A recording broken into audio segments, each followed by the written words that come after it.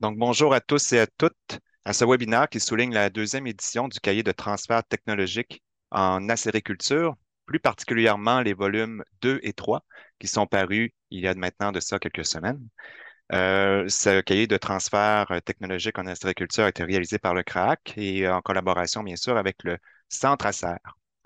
Euh, je m'appelle Antoine Léveillé, je suis coordonnateur marketing au CRAC et je suis en compagnie de M. Luc Lagacé, microbiologiste, directeur recherche et transfert technologique au Centre ACER. Je vous mentionne et souligne que cette présentation, ce webinaire est enregistré et sera aussi disponible euh, ultérieurement. Nous allons vous euh, communiquer le lien pour que vous puissiez y avoir accès. Euh, je vous demanderai lors de la présentation de garder votre micro et peut-être votre caméra fermée la rencontre sera suivie d'une période de questions en compagnie de M. Luc Lagacé. Donc, M. Lagacé, je vous cède la parole pour la suite de cette présentation. Merci beaucoup, Antoine. Bienvenue à tout le monde. Aujourd'hui, le Centre Acer est fier et heureux de vous présenter euh, ces deux nouveaux volumes, euh, le volume 2 et 3 de son cahier de transfert technologique en acériculture pour sa deuxième édition. Donc, on a préparé un petit visuel pour accompagner ce lancement.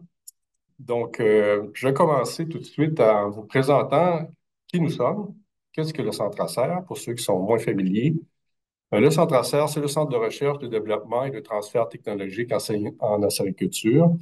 Et c'est un leader en innovation dans l'industrie acéricole depuis 1998. donc, le centre a été formé en 1998. On cumule donc 26 années d'existence.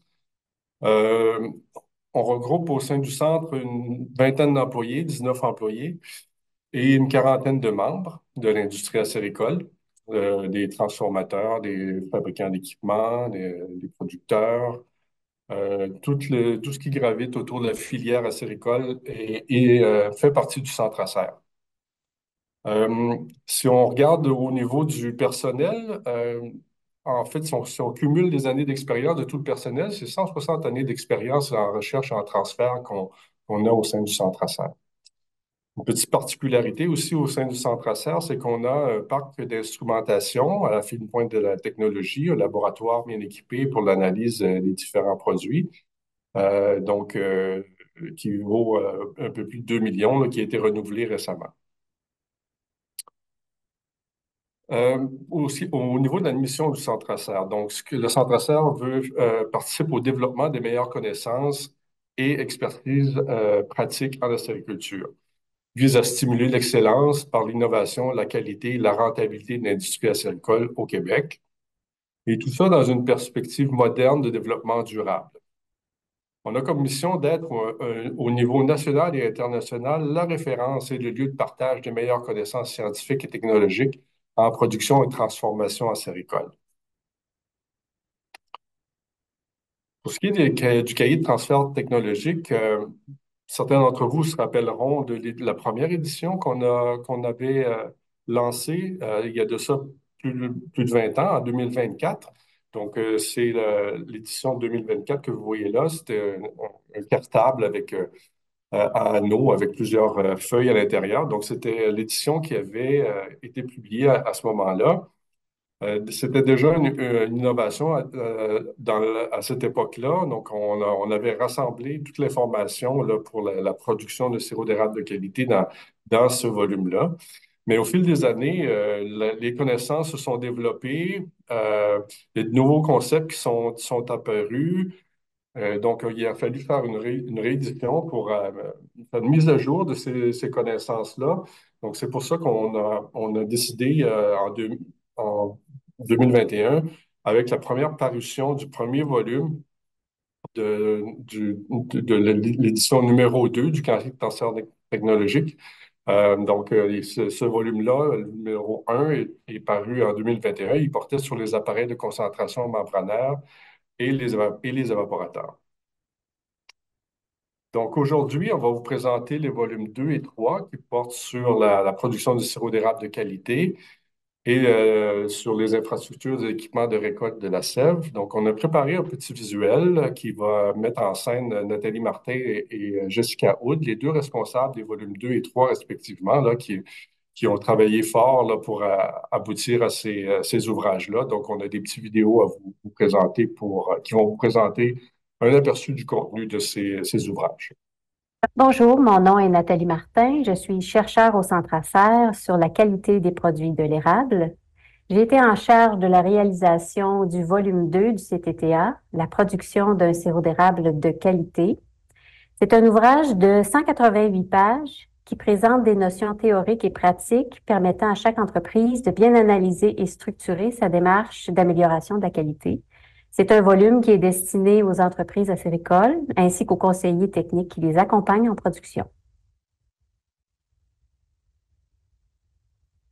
L'ouvrage se décline en sept chapitres euh, où on parle de la qualité dans l'industrie alimentaire ainsi que de la qualité commerciale du sirop d'érable. On fait un survol également des bonnes pratiques de fabrication et des fondements scientifiques qui les accompagnent. On va parler évidemment du contrôle du procédé et des méthodes utilisées pour effectuer un bon contrôle de la qualité. Puis on va aborder au chapitre 7 quelques éléments qui nous permettent de faire une mise en marché euh, intéressante. Quand on parle de qualité du sirop d'érable, comme n'importe quel aliment, il y a différents aspects euh, qu'on doit euh, aborder. En fait, le sirop d'érable doit d'abord respecter les exigences de base en matière de salubrité et d'innocuité, ainsi que les euh, règles qui les définissent. Ensuite, va s'ajouter à ça euh, les euh, critères de qualité dont s'est dotée l'industrie acéricole pour déterminer la valeur marchande du produit. Puis tout en haut de la pyramide, évidemment, on va trouver les propriétés du sirop d'érable qui sont des avantages distinctifs qui permettent de le distinguer des autres produits sucrants. C'est à travers ces différents concepts-là qu'on va va décortiquer en fait ces différents concepts-là tout au long des chapitres du volume 2. Dans le monde alimentaire d'aujourd'hui, la qualité est un concept multidimensionnel et c'est au chapitre 1 qu'on va introduire ces différents critères-là et ces caractéristiques-là qui vont permettre de définir la qualité des aliments, puis on va s'assurer de transposer ceux-ci à la sériculture. Au chapitre 2, on va traiter de la qualité commerciale du sirop d'érable. En fait, la qualité commerciale, c'est pour le sirop d'érable, c'est le concept qui permet de lui associer un prix selon son niveau de qualité. Et au Québec, ce processus va dépendre de la mise en marché du produit. Donc, au chapitre 2, on va aborder les aspects législatifs de la production acéricole en lien avec la qualité. Quand on parle de qualité, évidemment, on ne peut pas passer outre les bonnes pratiques de fabrication. Une entreprise acéricole, comme toute autre entreprise alimentaire, doit veiller à ce que ses activités ne compromettent pas la salubrité de ses produits. Donc, au chapitre 3, on va en faire un survol des bonnes pratiques de fabrication qui décrivent les règles de base pour assurer la qualité sanitaire des produits acéricoles. Certaines notions scientifiques de base sont évidemment nécessaires si on veut bien comprendre les conséquences du procédé sur les propriétés de la sève et du sirop d'érable. C'est au chapitre 4 qu'on va les aborder. Une meilleure compréhension des fondements scientifiques derrière les opérations vont faciliter l'identification des problématiques et permettre l'application de mesures correctives de façon plus adéquate. Au chapitre 5, on va décortiquer toutes les étapes du procédé de transformation de la sève en sirop. Pour faciliter la compréhension, on va les avoir divisées en quatre grandes parties, la forêt, la sève, le concentré et le sirop. Et à chaque étape, on va apprendre à maîtriser les risques inhérents à chaque étape et les moyens de contrôle du procédé pour nous permettre d'obtenir un produit de qualité qui sera conforme aux normes en vigueur. Évidemment, pour prendre les meilleures décisions possibles, il va être primordial d'effectuer une mesure précise des paramètres de procédé ou des propriétés des fluides acéricoles. C'est au chapitre 6 qu'on va s'intéresser aux différentes méthodes utilisées pour faire le contrôle de la qualité. On va aborder entre autres l'échantillonnage et la conservation des échantillons. On va faire un lien entre la valeur mesurée et l'information que l'on recherche. On va parler des mesures à effectuer en cours de procédé ainsi que sur le produit fini et évidemment les instruments utilisés pour le faire. On va parler de leurs principes, mais également de leurs limites. Les qualités intrinsèques multiples, on l'a dit plus tôt, qui ont été mises en évidence par la recherche dans les dernières années, font en sorte que le sirop d'érable est maintenant un produit à haute valeur ajoutée. C'est au chapitre 7 qu'on va présenter plusieurs de ses propriétés qui sont souvent hum, euh, sous-exploitées ou mal connues, qui vont en fait le distinguer avantageusement des autres produits sucrants et qui vont permettre de le valoriser à travers une multitude de produits novateurs. Donc, en résumé, l'ouvrage que je viens de vous présenter, le volume 2, présente les principaux éléments qu'on doit considérer, dont entre autres les bonnes pratiques de fabrication, pour produire un sirop d'érable de qualité tout en réduisant les risques. On va aborder les aspects législatifs, les critères d'évaluation et les avantages distinctifs du sirop d'érable, sans oublier les notions scientifiques de base qui vont nous permettre de mieux comprendre les effets du procédé sur la sève et le sirop d'érable. Et tout ça, évidemment, sans oublier le principe des instruments de mesure utilisés qui sont à la base de l'évaluation. Je vous remercie et je vous souhaite une bonne lecture.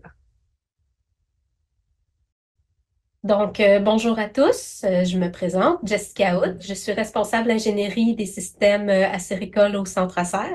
Donc, aujourd'hui, je vais vous parler du CTTA volume 3, donc celui qui touche les infrastructures et les équipements de récolte.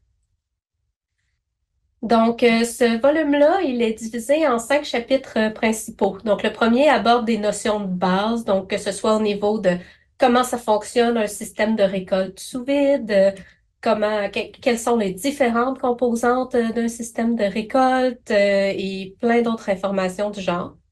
Le deuxième chapitre aborde les règlements et les bonnes pratiques. Donc, on va cibler certaines réglementations qui sont essentielles à connaître et puis vous référer euh, aux bons documents là, pour en tenir compte. Le chapitre 3 est plus au niveau des fondements scientifiques. Donc, on va expliquer comment ça fonctionne un système de récolte sous vide, c'est quoi les concepts scientifiques en arrière, euh, quels sont, euh, quels sont les matériaux à utiliser, les caractéristiques des matériaux et puis les couleurs euh, du système de récolte, qu'est-ce que ça change dans le fond au niveau du système. On va ensuite aborder le chapitre 4. Le chapitre 4, on parle plutôt de conception.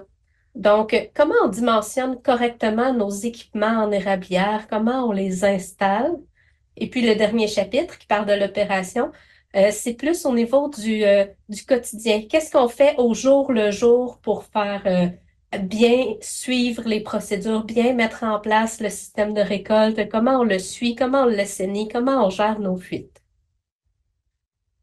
Donc, si on fait ressortir certains points qui sont vraiment différents par rapport à l'ancienne version du CTTA, euh, on va parler beaucoup de notions de base qui vont détailler le fonctionnement d'un système de récolte et de ses différents composants et équipements. on va aborder entre autres la tuyauterie et les accessoires où est-ce qu'on a vraiment sorti euh, des photos des composantes et des descriptions. On va apporter, euh, aborder les pompes, les extracteurs, les accessoires de vide, comment ils fonctionnent et montrer des, schémas. On va parler aussi de réservoirs et de systèmes de monitorage. Euh, on a ensuite euh, le volet sélection et conception des systèmes qui a tout été revisité. Donc, euh, on a revu tous les calculs et on les a ajustés pour permettre d'aller cibler des niveaux de vide plus élevés, soit entre 26 et 28 pouces de HG, parce que les anciens calculs étaient basés sur du 15 pouces de mercure, puis maintenant, on voit vraiment des niveaux de vide plus élevés sur le terrain. Il fallait aller ajuster ça. On a également fait la mise à jour de toutes les pompes à vide qu'on retrouve sur le marché parce qu'elles ont vraiment évolué depuis 2004. Ça fait maintenant euh, plusieurs années.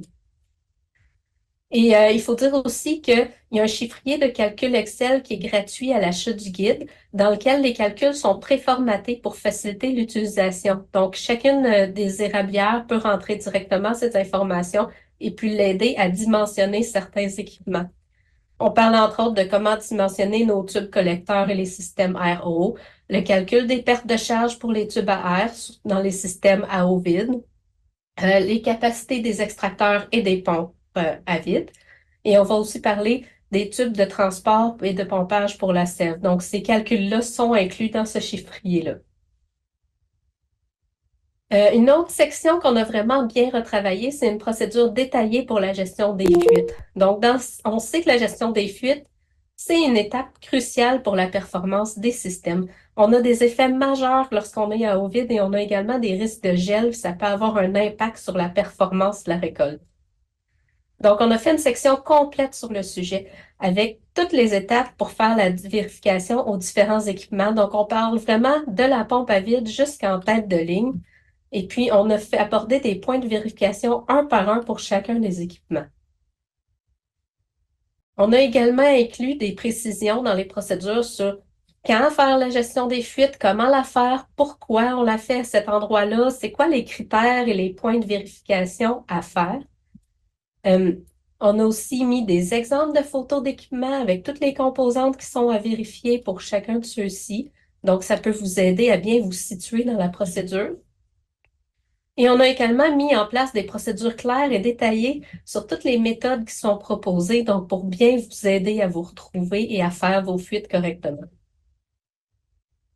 On a intégré des schémas décisionnels, étape par étape, qui accompagnent les procédures et puis qui permettent vraiment de voir où est-ce que j'en suis rendu maintenant dans ma procédure? S'il se passe tel cas, je m'en vais là. S'il se passe tel autre cas, je m'en vais à une autre place. Donc, on a essayé de tout mettre en place pour vous aider à simplifier euh, les procédures d'opération quand vous faites ce genre, euh, ce genre d'activité-là. On a également une section qui est renouvelée sur tout ce qui est bonne pratique de lavage, d'assainissement et de rinçage des équipements. On sait que ces pratiques-là, elles sont essentielles pour la performance et le bon état des équipements. On veut également cibler à diminuer l'utilisation des produits chimiques qui peuvent être nocifs pour l'environnement et la santé. Donc, on veut les diminuer au minimum à ce qui est vraiment essentiel. On a aussi intégré des notions de compatibilité entre les produits qui sont utilisés et les matériaux du système de récolte. Donc, par exemple, quel genre de produits on utilise avec l'acier inoxydable, le plastique et les autres matériaux qu'on retrouve couramment dans le, dans le système de récolte? On a intégré des critères à respecter pour la préparation d'une solution chimique. Donc, Qu'est-ce qu'on doit faire au niveau de la température, du pH, de la concentration? Comment on prépare les solutions correctement? On a aussi mis des notions de base. C'est quoi le pH d'une solution? Donc, pour mieux comprendre quand on fait des solutions, comment ça fonctionne. On a mis aussi plusieurs explications sur les notions de lavage, d'assainissement, de rinçage et les actions mécaniques et de nettoyage qui sont recommandées, qui les accompagnent. Donc, ça permet de vraiment bien cibler les différentes étapes, bien comprendre à quoi chaque étape sert et quand est-ce qu'on doit la faire. Donc, en résumé, cet ouvrage-là, il inclut des notions de base qui sont à découvrir sur tout ce qui touche la récolte de sève sous vide et les explications scientifiques. Des informations mises à jour sur les infrastructures, les équipements, les règlements, le nettoyage et la gestion d'une érablière. Des calculs revisités pour aider au dimensionnement des équipements et des procédures claires et bien détaillées qui incluent des photos et des schémas pour vous aider à vous y retrouver. Et vous trouverez encore bien plus encore dans l'ouvrage, donc on vous invite vraiment à vous le procurer. C'est un à peu près 276 pages euh, vraiment euh, bien complètes là, pour euh, vous aider dans tous les domaines des infrastructures et des équipements de récolte. merci, c'est ce qui termine pour l'instant. Bonjour, mon nom est Nathalie Martin. Je suis chercheure au Centre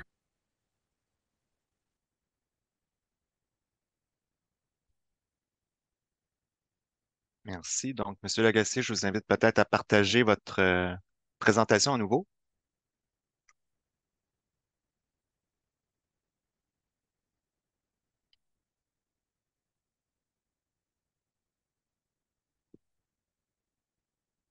Monsieur Lagacé, m'entendez-vous?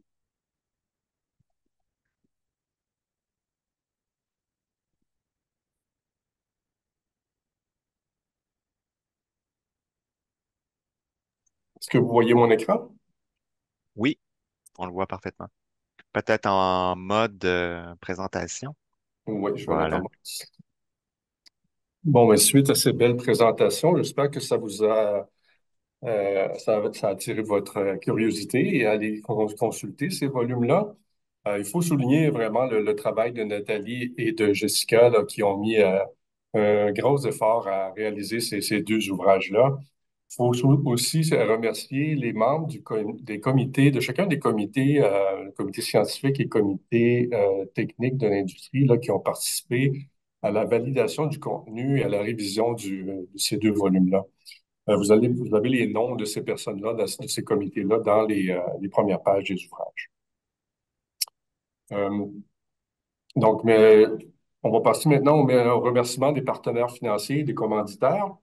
Euh, donc, pour le volume 2, on avait euh, comme partenaire, partenaire financier le Conseil de l'industrie de l'érable, les producteurs et productrices acéricoles du Québec et le gouvernement du Québec, le MAPAC, qui a financé avec l'aide de ces programmes via le partenariat canadien pour l'agriculture euh, durable. Donc, ce sont nos trois partenaires financiers. Donc, merci beaucoup à ces partenaires. Et au niveau des commanditaires, pour le volume 2, on avait les équipements des rabières CDL, Dominion et Grimm, le collectif, euh, les collectifs régionaux de formation agricole et le créneau acéricole.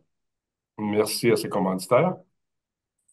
Pour le volume 3, nos partenaires financiers étaient, euh, encore une fois, euh, le gouvernement du Québec par le, via le MAPAC et le Partenariat canadien pour l'agriculture, le créneau acéricole euh, via le programme Accord du euh, ministère de, l'économie et de, l'innovation. Donc, merci à ses partenaires financiers. Et pour les commanditaires, on avait euh, les équipements des radières CDL, Dominion et Grimm et l'Association des propriétaires de boisés de la Bourse. Donc, merci à ces commanditaires. Donc, pour vous procurer ces deux nouveaux volumes, donc ces volumes sont disponibles sur le site du CRAC. Euh, selon deux modes de, disponibilité, vous avez la version papier, mais vous pouvez aussi avoir accès à une version euh, électronique à format PDF. Euh, les ouvrages sont aussi disponibles au kiosque du Centre Acer. Donc, on est présent avec nos kiosques dans les différents événements de l'industrie, que ce soit les portes ouvertes des équipementiers, par exemple, ou les journées à école du MAPAC, euh, ou d'autres événements de l'industrie. On a, on a l'habitude d'avoir des kiosques dans lesquels les, produits, tous nos produits qu'on vend sont disponibles, mais aussi euh, ces, volumes-là du cahier de transfert technologique. Et les volumes sont également disponibles lors de nos formations. Donc, on a de multiples formations qui sont offertes à chaque année, donc euh sur différents sujets. Donc, ces, volumes-là peuvent être d'excellents des, manuels de référence pour, euh, euh, pour, vous accompagner lors de ces formations-là qui sont données par le Centre ASSER. Donc voilà, ça complète ce que j'avais à présenter. J'espère que ça vous a plu. Euh, je vais tenter de répondre à certaines de, vos questions s'il y en a qui demeurent à votre niveau. Donc, je vous remercie de votre attention et, et bonne lecture de ces deux, deux volumes du CTTA. Merci beaucoup. Donc, euh, vous pouvez vous manifester si vous avez une question euh, à poser, soit en, levant la main, en levant la main et en ouvrant votre micro aussi, votre caméra.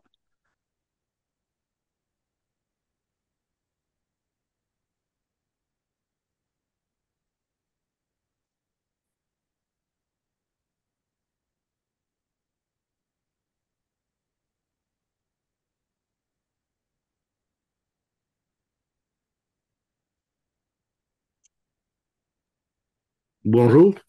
Je n'ai pas trouvé où lever la main, là. Bonjour. Bonjour, bon. Euh, rapidement, euh, question des, des, volumes. Est-ce que normalement, ça complète toute la série, les trois volumes qu'il y a là, ou bien il est supposé peut-être paraître un quatrième? Question comme ça, là. Oui, ben, pour l'instant, la, série sera complète. Il y avait été question d'en avoir un sur, euh, qui porterait plus sur la forêt, l'aménagement. Euh, ah, serait bon, euh, Sauf que pour l'instant, c'est euh, encore en discussion. On n'a pas, on n'a pas encore vraiment statué sur, sur, sur la rédaction d'un volume comme ça. Mais si le besoin est là, puis qu'on ait les appuis pour faire le, faire le travail, on serait là aussi pour le, pour le faire. Mais pour l'instant, on va se limiter aux trois, aux trois volumes qui, qui, qui sont présentés présentement. OK. Merci beaucoup.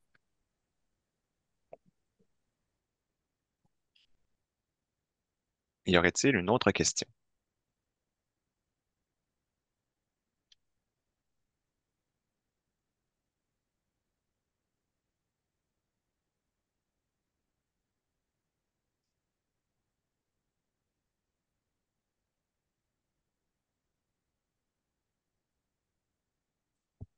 Alors, s'il n'y a pas d'autres questions, ben, Monsieur Lagacé, merci beaucoup pour euh, cette présentation. Merci euh, à tous les participants, à tous et à toutes de votre participation. Je vous rappelle que cette présentation a été enregistrée et vous sera aussi communiquée euh, par courriel pour la suite.